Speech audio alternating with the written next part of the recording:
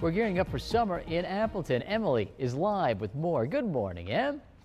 And Pete, you got to decorate for summer too. Yep. You know, you can have a nice pot like this, and we love the sticks. So decorate with sticks, something super simple.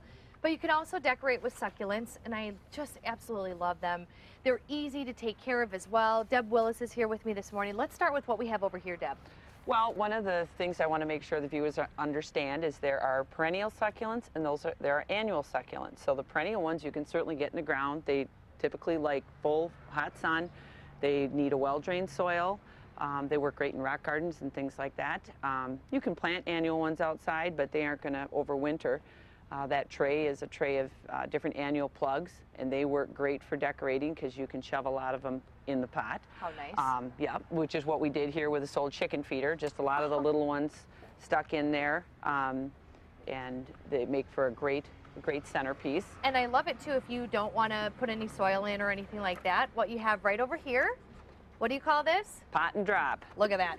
Super easy. That one's Yep. kind of neat too. Yep, So yep. many different kinds. Yeah. I love what you got going on over here. Yeah, um, the biggest problem people make when they take their succulents indoors is they probably overwater them. Uh, succulents, like any other plant, do have a dormant phase, and it's easy to think that they're struggling when they start to look a little peaked. And then what do people do when plants look like they're struggling? You throw more water on them. And actually, they just want to rest. Um, so if you're someone who's had succulents and you maybe struggled a bit with them and you're ready to give up on them, which I would hope isn't true, um, what did I show you earlier?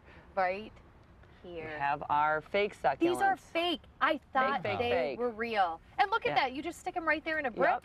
Huh. How cute is that? This is one of my favorites. This is the, the Shrek ears. Here's the real one. There's the real one, there's the fake one. Kind of hard to tell the difference. That is awesome. And I love what you have right here in this pot. Yep. We have it right up there. Just as simple. This is actually just screenings, which is a finer version of a road gravel. Gives it a little bit of a desertly, a desert look. And if you were having them on your dining table, perhaps you don't want the dirt to show through. You can put the gravel on top, gives it a neat look and makes it a little cleaner looking. I love it.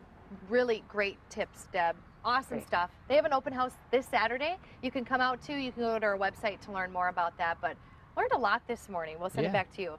What a great morning. Thanks, Em.